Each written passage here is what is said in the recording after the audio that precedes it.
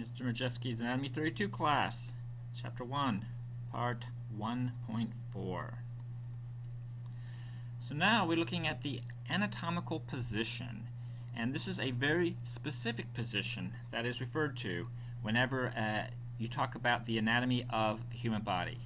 And specifically, this position is of a person standing up on their feet, facing forward, with their palms also facing forward.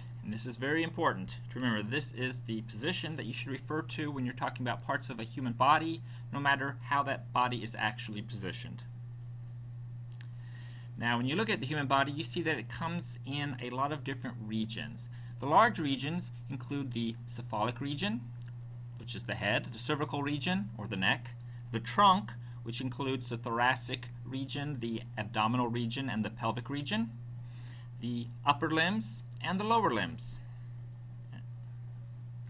On closer look, you can see that each of these regions have many small subregions. So for the cephalic region, you also have the cranial region and the facial region. And the cranial region also includes the occipital region, which is the base of the skull on the posterior side. While the facial region includes such things as the frontal region or forehead, temporal regions or the temples, the orbital or ocular regions, or the eyes, the otic regions, or the ears, the buccal regions, or the cheeks, the nasal region, the oral region, and the mental region, or the chin. Uh, in the cervical region, there are no subregions.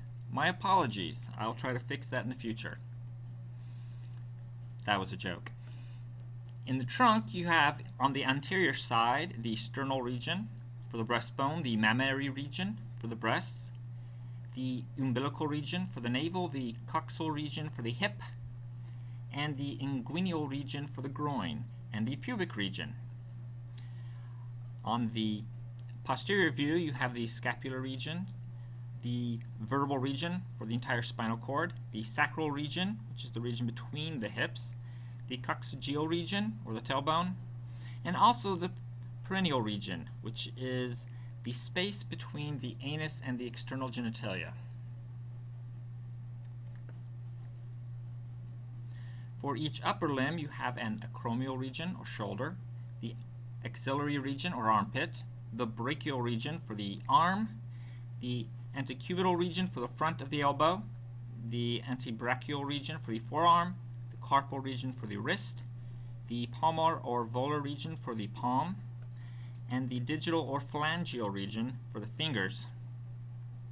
The entire hand can also be referred to as the manual region, and the thumb has its own little name. It's called the pollex region.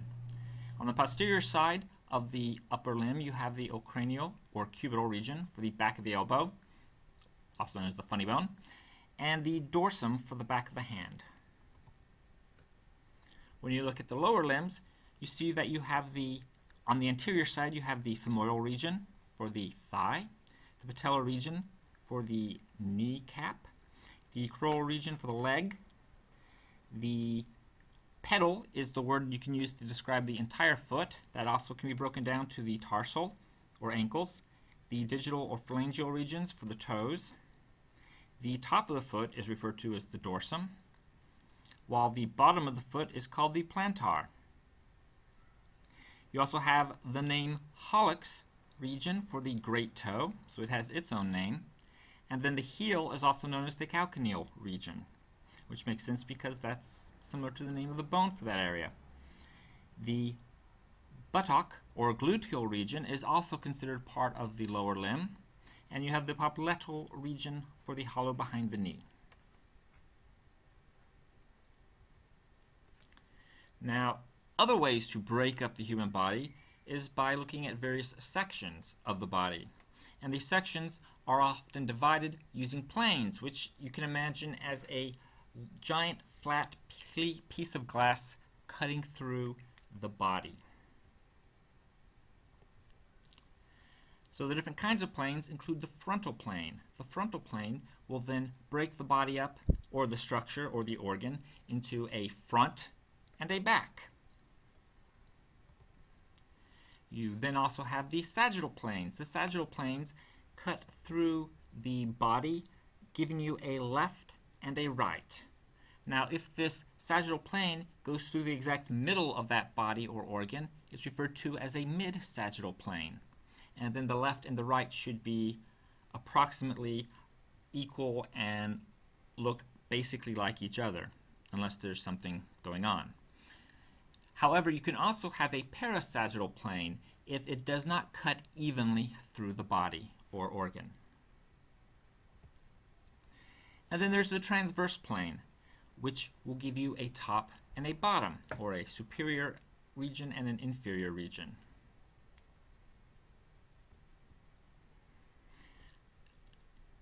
Now, when you look at the various structures or parts of a body or an organ or whatever, um, there are many directional terms used to show the relationship between these parts of the body.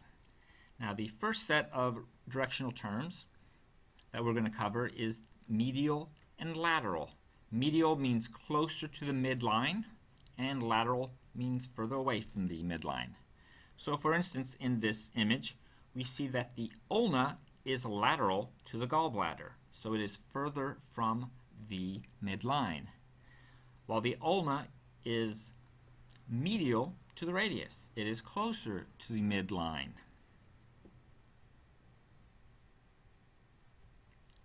Next set of directional terms is anterior versus posterior. Anterior being toward what we think of as the front of the body, and posterior being toward the back. So in this image, you see that the heart is anterior to the spinal cord. Another set of directional terms is superior and inferior. These terms are for all body parts that are not in one of the limbs, or when you're comparing a part of a limb to some other part of the body. And superior is toward the head, inferior toward the tail. So for instance, in this picture, we see that the gallbladder is inferior to the esophagus, while the esophagus is superior to the urinary bladder. Now for the limbs, we have the directional terms proximal and distal. This should only be used for parts of the body found on one limb. Now proximal means closer to where the limb attaches to the trunk, while distal means further away from where the limb attaches to the trunk. So for instance, in this image, we see that the radius is distal to the humerus, and the radius is proximal to the phalanges.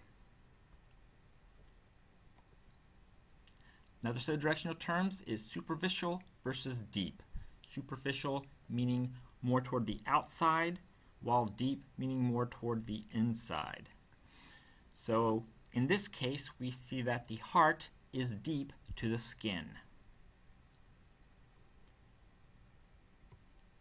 There are, of course, some other terms and terminology in this chapter and in this section that you will, of course, have to be responsible for. So study hard.